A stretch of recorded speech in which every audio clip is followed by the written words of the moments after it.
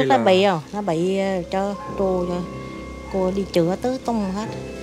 Tâm linh cô cũng có mà bên Dạ. nó phát bệnh ra cái chỗ nào cô cũng đi hết à. Nó lớn lên nó, nó ngon lắm nó hiền nó làm nó giúp đỡ cho cha mẹ nó đồ lắm nó đi làm gì nó tạo nó lắm. Mấy ai cô tổng tổng cộng là là ba người thầy với một ba nữa. Trước sau năm ờ, nó bệnh là trước năm ờ, covid à Ờ, Dạ. cái covid công an biểu là nó không thể nó đi miết là sợ lây cho nên công an lên bắt xích lại cho tới nay luôn á. 19 này này hai mấy cũng 4 năm rồi ạ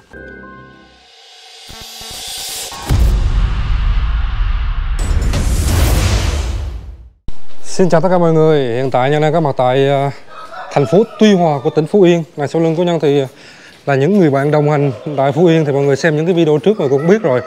À, Và buổi trưa ngày hôm nay thì à, Nhân sẽ cùng với mọi người sẽ đi à, thăm một trường hợp rất đặc biệt. Và được gia đình chia sẻ rằng á, là bị tâm linh rồi bị tâm thần. Nói chung là rất là nhiều thứ cho nên á, để biết được thật hư câu chuyện ờ, của gia đình như thế nào và nhân vật bí ẩn này ra sao á, thì nhân mời mọi người hãy cùng đồng hành video với nhân để ghé thăm gia đình nha. Ờ, hiện tại đây là cảnh quan ờ, xung quanh của gia đình. Thì ờ, ờ, gia đình đã Ờ, chào anh. Ừ. Thì ờ, gia đình ờ, ủa cô, cô xích ảnh trong này hả? Chào anh nghe. Dạ. Anh ăn cơm chưa? Anh, anh ăn cơm chưa? Chưa chưa. Chưa hả? À là anh ngủ ở đây á hả?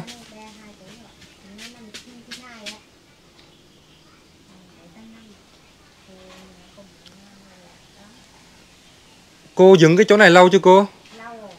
Dạ đây ờ, chưa ăn cơm gì anh?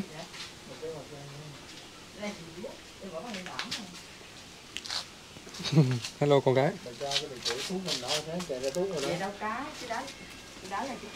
À, con con hỏi cô xíu ha. Con gắn sao để con cầm đây luôn cũng được. Con ngồi đây nghe. Dạ. Con gái nhìn cái này thấy à? cháu à? À cháu nội à? Ờ, cô cô tên gì? Cô tên Trang. Cô Trang hả? Ờ, thì ờ, trường hợp của con trai cô ờ, xích như thế này là bao lâu rồi? Trước sau năm ờ, nó bệnh là trước năm covid à Ờ, Dạ. cái covid công an biểu là nó không thể nó đi miết là sợ lây cho nên công an bắt xích lại xích tới nay luôn á. Vậy là khoảng mấy năm rồi cô ha 19 này này hai mấy cũng 4 năm rồi á. À, 4 năm. Vậy là trước đó là đã bị chưa hay trước là nó bị không nó bị ờ, cho cô cho cô đi chữa tứ tung hết. Dạ. Ừ. thì ờ, cô đi chữa là chữa bên tây y hay là bên ờ, đông y hay là bên tâm linh? À, tâm linh cô cũng có mà bên Dạ. nó phát bệnh ra cái chỗ nào cô cũng đi hết à. Vậy là cái cái nơi mà cô đi xa nhất là ở đâu? Xe nhất là ở ở vì ờ, bệnh tâm thần ra thẳng ở vì bệnh viện ờ, bệnh viện ờ, bình định á có bệnh Dạ. viện tâm thần á. Rồi À. cô vô đi nhật đó nữa bệnh viện nhật đó cô còn đi khám mua thuốc về cháu nó uống uống rồi hết thuốc rồi cái nó không thả lại. Dạ. Có nghĩa là đi khắp nơi rồi. À, đi hết nơi rồi. thì khi mà cô đi khám bệnh á, thì bác sĩ chẩn đoán rằng là con cô bị bệnh gì? Nó bị hồi nó bị trầm cảm mà nó nó mất ngủ cái nó nó bị vậy luôn nó không biết ừ, bị gì. Rồi ừ, trong quá trình mà con trai cô bị như vậy thì ờ, ờ, có đánh đập gia đình không? Có nó hồi nó nấu cơm nó nó, nó đánh ba nó chứ. Trời đất đồ nó đánh đầu nó nạp con chạy quá trời quá đất. Cho nên ông sợ quá báo các công an rồi thay đâu bệnh sản xuất nó luôn dạ. Ừ, là sức nó ở luôn đó luôn. Vậy thì trước đó thì ờ, con của cô á, là đi làm công việc gì? Nó đi làm mà mướn ở trong sài gòn. À, thì ờ, đi làm ở Sài Gòn là trong vòng bao nhiêu năm á, thì ờ, về đây cô? nó đi hầu nó vô chú nó ở là nó hầu nó học mất cái lớp 7 à nó vô chú nó ở nó học nghề xe á. Dạ. rồi bắt đầu cái tới năm 20 tuổi. Sau cái chừng 20 21 gì vậy cái bắt đầu nó bị bệnh rồi không á bị bệnh là cô phát bệnh là cô cũng đi vô chữa hết hết rồi nó không có thuốc nó trở lại Vậy. Vậy là trước đó là đã phát bệnh rất là lâu rồi, sau đó là ờ, cũng đi chữa là đỡ đỡ đỡ rồi, À, đỡ đỡ. sau đó thì về hết thuốc thì bệnh lại. bệnh lại rồi cái cô chữa miết rồi giờ nói cho giờ cô già rồi cô khổ bán chân mà nằm mà em nên là còn biết bán khắp ở thẳng ở vườn kín bệnh viện rồi. Mà chữa bệnh giờ đâu có con càng kiệt đâu đâu có chữa nữa đành phải bỏ vậy xích lại cho ăn gì ăn giờ tiền bạc đâu nữa chữa Thì ờ, công việc của cô là hàng ngày là cô bán cái gì? bánh chân bánh nằm Bánh chưng với bánh nậm. Vậy thì ờ, cái ờ, cái nguồn thu nhập từ cái đó nó có ổn định không cô? không thì cũng trăm mấy hai trăm ngàn đủ chi tiêu vậy ờ, ông chú ông đi làm phụ hồ ừ. Ông làm phụ hồ mà nay ông từ bữa covid ông làm thì ông cũng bị bị hết mất hết con mắt. Ông cũng đuôi hết con mắt. Trời đất ơi. ừ. giờ ông cũng yếu đâu làm gì. Giờ bà nội bà nội còn bà nội nằm liệt giường ở trong phòng nữa kia nè. Là bây giờ gia đình mình á là còn ờ, à. bà nội nằm ở trong trong giường nữa. à, nằm liệt giường ở trong á nằm thầy vật tệ thầy tệ còn lao động chính có mình cô à. Đợi ông chú nha ông lo Bây giờ là có một mình cô thôi mà Ừ. lo hết rất là nhiều người. vậy Mà trong đó thì là bà thì nằm một chỗ ừ. về nằm trong phòng trong á mà con của cô thì lại bị như vậy nữa. ừ. giờ cô có nhiều cô ờ, được kiếm nhiều chi tiêu nhiều chứ giờ làm sao ừ. giờ không biết làm sao đây Thì khi mà mà cô hay tin con trai mình như vậy thì lúc đó tâm lý cô như thế nào? Trời ơi cô lo sợ nó ờ, lo sợ lắm vậy cho nên cô phải ráng cố gắng ờ, cô với chú ráng cố gắng đi chữa chữa cái con thuốc này nó thấy nó đỡ hết thuốc là nó bệnh lại cái vậy á Và những cái thuốc đó thì ờ, cô mua ở đâu? bệnh viện cô ra À. bệnh viện bệnh viện bác sĩ chẩn đoán nó bị tâm thần À có nghĩa là bác sĩ là có giấy là ừm, tâm thần. ừ, cái giấy là tâm thần Dạ. Ờ, vậy thì ờ, bữa giờ là có được uống thuốc ờ, đều đặn không cô? hôm, nay cô bỏ lâu cũng có tiền mà tiền bán. Vậy thì ừm, mỗi lần mà mua thuốc như vậy nó tiêu tốn của gia đình mình biết bao nhiêu tiền cô? à, cũng gần triệu vậy á Nhưng mà bây giờ cô thấy là không có khả quan Không sao cô? giờ cô bỏ vậy sức chừng cái gì cho ăn nấy ta cuối đời giờ cô đâu có tiền hỏi cô ờ, có mình cô mà làm sao đủ chi tiêu còn nó con thằng em nó đang học nghề mà làm gì nó có tiền ở Sài Gòn nhà trọ nhà đồ mà làm có tiền Có nghĩa là cô còn một người con trai nữa à thằng em nó nữa mà đang ờ, đang học nghề. à, Dạ. nó ở Sài Gòn á ừ. còn thằng giữa thì nó có vợ giờ nó vợ chồng nó cũng khổ Dạ. ừ. nó nói được được hết Ừ. mẹ bác sĩ nó có tiền là chữa nó thì nó nó sẽ hết À. chữa ta nào ta trốn mà nó sẽ hết. Bây giờ nói cho cô làm có tiền mà chữa cho ta nào ta trốn cơ có tiền tháng nào vậy thì mua thuốc nó cho nó uống đỡ. Còn ngày tháng này mà nó không có thì thôi giờ tiền đâu cô mua.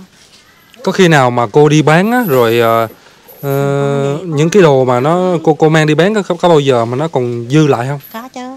Cũng còn dư lại cũ lại mang bán tiếp À, trời ơi. rồi cũng ráng cố gắng bán ra ba cái bánh nậm hư liền ngày mai nó sẽ hư Dạ. ừ. Cô ơi, cô cô xích như vậy á, ờ, có bao giờ mà tuột xích không? không con xích chặt lắm À. ừ, ừ. mấy hôm kia nó không la nó quýnh nó nó trọt lúng hết trơn nó trọi nó đá nó không cho mà nay nó quen rồi mấy năm ba bốn năm nay nó cũng quen rồi Ừ. nó bình tĩnh Ờ, có nghĩa là, là cứ ngồi nói chuyện lẩm bẩm mình vậy thôi. à trô bữa nay sao nó không chữ cho mấy bữa nó chữ ô nó chữ hàng sớm mà nó nghe nó ngủ được Dạ. má còn nửa đi mà cái nó la nó nó đủ lùng tung nó nấu điên nó đá nó đạp Vậy thì ờ, chú sau khi mà mà mà sức lao động không còn nữa thì bây giờ phải ở nhà thôi. ở nhà ra bà nậu với nó cô đi bán Dạ. ừ. ở nhà ông cha bà nậu ăn uống ông đỡ chứ cô đi bán kiếm tiền cho Rồi cái việc mà buôn bán của cô ờ, bán như vậy thì duy trì trong bao nhiêu năm rồi cô?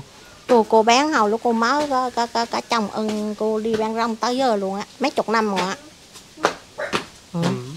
chứ đâu Rồi bây giờ cô có còn nuôi hy vọng rằng là sẽ chữa hết bệnh cho con của cô không?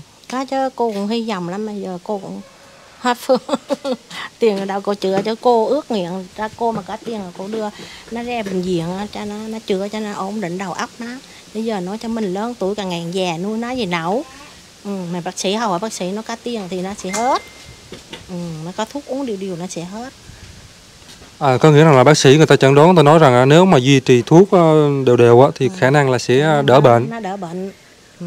bây giờ cô cũng đâu có tiền làm sao có tiền mà chữa nữa À, như lúc nãy cô có chia sẻ rằng là con trai của cô là ờ, phát bệnh trầm cảm là lúc đó là bao nhiêu tuổi ta? nó không chắc 21 gì nó làm ở Sài Gòn cô cũng biết nữa Ừ, Vậy là đã hơn chục năm rồi. ừ, hơn, gần hơn chục năm rồi Dạ, nên nó bé hai túi thôi mà dạ, dạ. Cô xích nó là hầu nó còn bệnh cô có chữa miết cơ dẫn đi mẹ con cái đi chỗ kia chỗ nào chữa miết à chữa cái uống thuốc gì nó đỡ rồi nó đi làm làm cái nó trở lại nữa cái gì vậy mà đi lung tung nó nặng hung là trước năm covid nó đi miết cô thấy nghĩ tậu nghiệp đâu vậy thì thôi công an rồi sớm ấy bắt nhốt nó lại xích Dạ. lại ừ.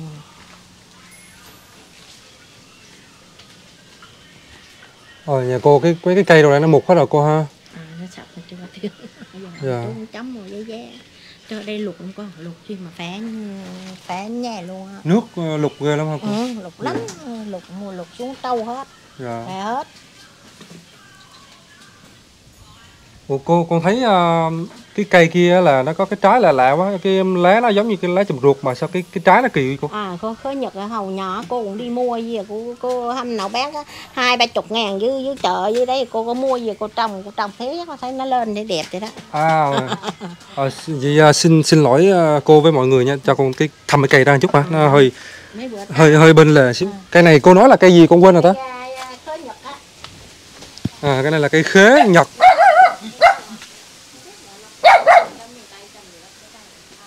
bán tàu à Ồ hay quá ha.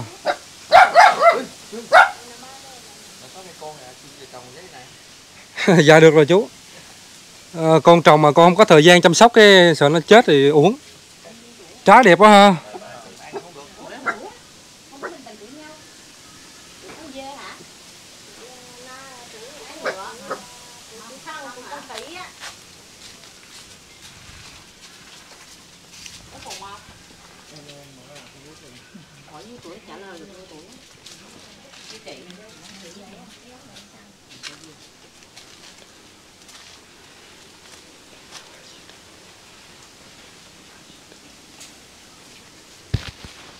Là cái không gian phía sau.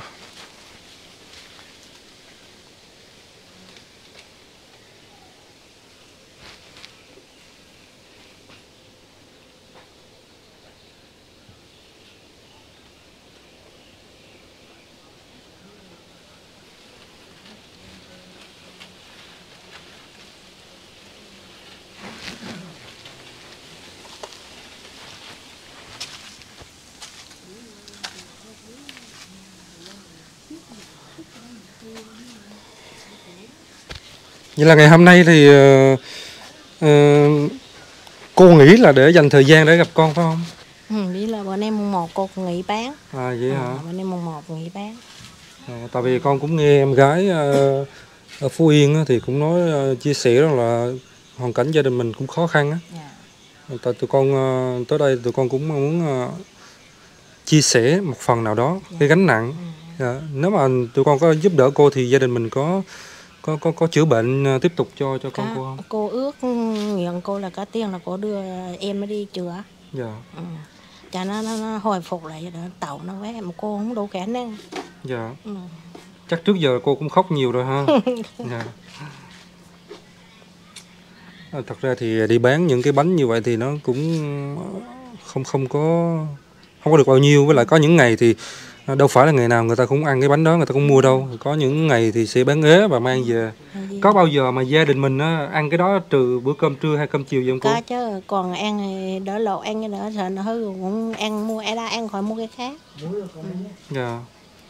Cái bánh đó là mình làm bánh à, bánh chay hay là bánh bánh mặn bánh mặn. À, là bánh mặn hả cô? ờ, cũng như gạo mình xay mình gói lại rồi mới một tí đấy này nó hay ủng hộ mua cho cô miếng nè. Cô bán vì đã đó. À Ừ. anh này hả? Hả thì Ngày anh anh bạn đồng hành cùng với mình này, anh, anh nào cũng bán á, ở với bữa giờ mọi người xem video thì mọi người biết là anh anh Thanh. À, ngày nào cũng bán hết rồi ảnh ờ, chăm cái nghĩa trang anh chăm cái nghĩa trang cho anh, anh thai nhi á.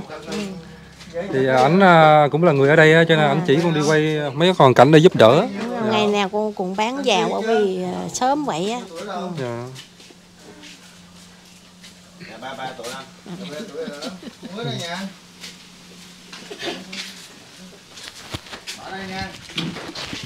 Cho con vào con thăm tí dạ, cô ha. Dạ dạ.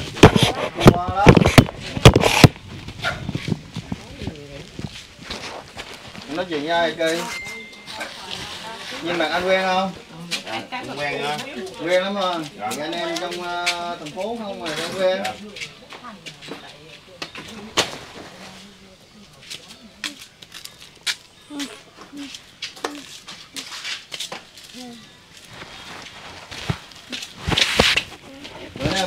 Điều trị bệnh nha cây Dạ dạ. Đi ờ, điều trị ờ, đỡ với ờ, phụ giúp ờ, cho bà già nha. Dạ. Hút thuốc gì mà đỡ tay cầm kẹp tay kẹp thuốc gì mà đỡ giang tay luôn không? Dạ. Bỏ ơi. Bỏ được không? Em bỏ từ từ anh. Ừ.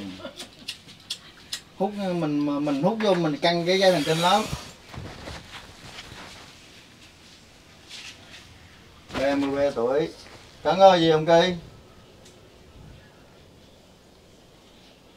Dạ có nha anh. Làm gì? Hồi trước làm gì? Dạ làm xe anh. Xe ô tô hay xe máy? Dạ, hồi xưa có làm ô tô chuẩn bị bị bệnh. bị bệnh. Biết mình bệnh gì không cây biết mình bệnh Nên gì? bị tai nạn anh. Ờ vậy Mất thôi tiền mất bạc cái rồi. Dạ bị uh, tuột giáp rồi ừ. Dạ, giống như ờ. Nên giờ thôi ờ, cố gắng À. sẽ đang trị bệnh anh.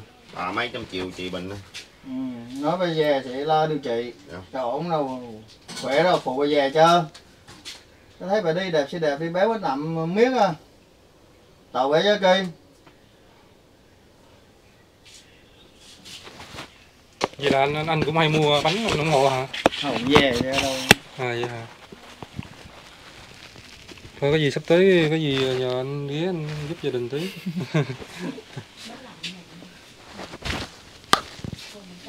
Hình như hầu cô chú bác nha ổng hay là ai? Má nghĩ mấy ngày ghi ông xuống lại cái ông mất trời tội nghiệp cơ cũng tập đây nó không phải bị tâm linh à, bên bị bị tâm thần? Thì ờ, nó bệnh xuống là cô cứ đi chỗ này cô cũng đi hết chứ giờ bên em mình cũng coi. Vậy là bữa bữa nào à, hỗ trợ đi điều trị anh? Ừ. Ừ. bữa nào đi nha bữa nào đi đi ờ, điều trị bệnh cho hết bệnh rồi về nha. Bắt tay này hứa là chứ không hứa coi. nè hứa anh anh lên là phải đi nha. Bây giờ hứa là được rồi còn đi hay không thì bữa sau mình tính. Không đi á khuyên gì? Xe cấp cứu có băng kê đàng hoàng. Dạ, cá nhưng mà em nói là tao cái nghĩ đi vậy là hôm đầu cũng một lần rồi người ta tao Ừ. đi vô đi. Vậy là có anh thanh anh ờ, hứa là sẽ ờ, kết nối với lại xe không đồng để mà hỗ trợ đưa con trai cô đến ờ, một cơ sở y tế để mà điều trị. Thì ờ, đó là cái bước đầu tiên. Và ngày hôm nay khi mà ghé thăm ờ, gia đình á, thì Ờ, thấy được rằng là cuộc sống cũng khó khăn trong cái giai đoạn này cô cũng vất vả. Thôi thì con cũng ờ, sẽ ờ, trích một cái khoản tiền quỹ nho nhỏ của mạnh thường quân á rồi để hỗ trợ cô. Nếu mà cô có thuốc thang gì đó cho cho con trai cô thì cô dùng ha. À, ngày hôm nay thì nhân xin phép là nhân sẽ trích một khoản tiền quỹ. Đó là tiền quỹ của cô Tâm Độ cô Tâm Độ thì à, gửi cho mình một khoản tiền quỹ. Cô ở nước ngoài á. Thì à, nhân xin phép là nhân sẽ trích 3 triệu. Cô ơi đây là khoản tiền à, 3 triệu á. Con trích từ tiền của mạnh thường quân. Con trao tặng cho gia đình mình để hỗ trợ các chi phí đi lại để mà thăm khám cho con trai cô cô ạ. Ừ, cô cũng cảm ơn. Cô cũng cái gì cô cũng cảm ơn cái cô gì bên Dạ, cô bên- Tâm Độ ở nước cô ngoài. Tâm ở nước ngoài thì cũng giúp đỡ hoàn cảnh của à, của em là em cũng rất cảm ơn. Chúc cô cũng mạnh khỏe. Dạ. Có bao giờ cô nghĩ rằng là một ngày nào đó con trai của mình sẽ trở lại bình thường không? Thì cô nghĩ cô lúc này cô cũng ước như vậy hết á. Mà giờ Dạ. cô nói cô không đủ khả năng. Dạ. Cô đi bán trong cái trà trúng tờ về số dạy gì cũng được á. Ít tiền khá khá là đầu tiên là cô chữa bệnh cho cho em nó cho tàu nó. Dạ. Bây giờ cô nói cho bán buôn làm sao mà đủ khả năng mà lo cho nó vậy là cho nó. Dạ. Cô Thì, em ờ, chỉ biết à ngoài á ngoài con trai cô bị bệnh như thế này nữa thì ờ, có thêm má cô nữa hả? Hay là má của chú? Bà nội. Bà nội bà nội là má của chú. à mấy cô chú. Dạ nằm một chỗ nữa. Nằm một chỗ trong phòng ạ. Dạ. Nằm liền trong á. Bây giờ trên trên vai cô gánh nặng bao nhiêu là dòng hết trên trên trên vai của cô hết sáng cô đi bán lo cho mấy người đây ở rồi cô chiều mà cô đi dạ. Đi bán kiếm đây hẳn trăm hai trăm ngàn vậy chứ không có nhiều. Dạ. Từ bánh đá mà nhiều hầu còn có kiếm được ra mấy còn gì ăn như đó sợ nó hư. Ngày mai bán cho khách nó bánh hư tọng tan tan kinh mình bữa sau à mình buôn bán nó không được. Ừ, ăn dở nó không ăn. Dạ. Vậy nên vậy á. Cái giai đoạn nào mà làm cho cô bị bị bị ờ, có nghĩa là có những cái cảm giác mà nó suy sụp nhất cô? Thằng thằng tí đấy. Ừ. ừ, từ cái lúc đó? Ừ. suy sụp là thằng tí đó từ năm 20 tuổi thì bây giờ là 33 là hơn 10 năm. Ừ. cô phải ờ, cùng đồng hành cùng với người con trai của mình đi khắp nơi. Đi khắp nơi. Dạ. mẹ đâu con đó cơ cơ nó thấy cha tiền có nhiêu cô cũng đi dẫn đi. Dạ. nếu mà không có thuốc trong một khoảng thời gian ngắn là sẽ bị lại. Nó bị lại nó la làng sớm nó, nó, nó, nó, nó, nó ấy đó. La ghê lắm hả cô? Ồ, bữa nay sao nó không le cho mấy bữa nó le trời nó le nó tức nó chọt lủng lỗ lủng hang hết á à, Cái ai cho cái giường nào là nó phát cái giường đấy là đạp nó đứng nó nhúng lên nó gãy. Dạ. Ờ, vậy thì ờ, trước đó thì ờ, trước khi phát bệnh á, là là con trai của cô là bình thường như mọi người bình khác? thường. Nó lớn lên nó, nó ngon lắm nó hiền nó làm nó giúp đỡ cho cha mẹ nó đồ lắm nó đi làm gì nó tậu nó lắm. Vậy cô thấy nó bệnh cô thương nó lắm.